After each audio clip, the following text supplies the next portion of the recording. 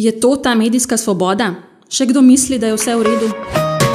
Vse imamo medijsko svobodo v državah članicah Evropske unije. Zakaj bi se ukvarjali s tem?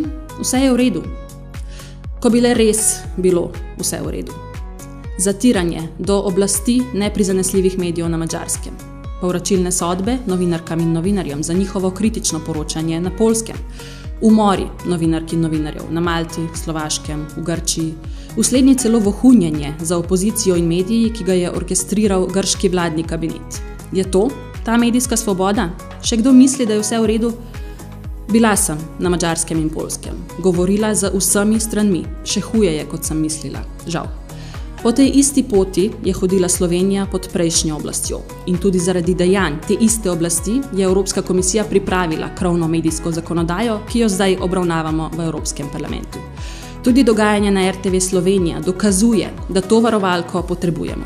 Ni vse v redu, niti podrazno, ampak verjamem, da bo. Kot ena od parlamentarnih pogajalk bom storila vse, kar je v moji moči, zato, da bo Evropski akt o svobodi medijev pripomogel k temu. To dolgujemo Osama Dam.